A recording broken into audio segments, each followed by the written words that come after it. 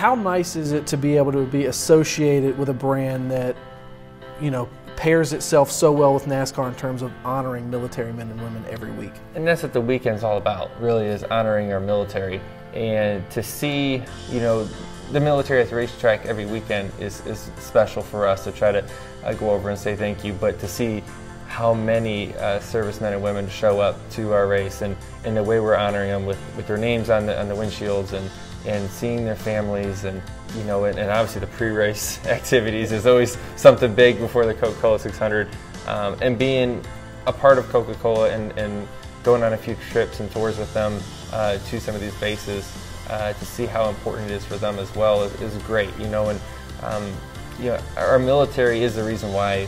we race right? And as a you know primarily American sport, uh, it means so much for for me um, to say thank you um, over our weekend. I know there's a lot of racing that goes on, but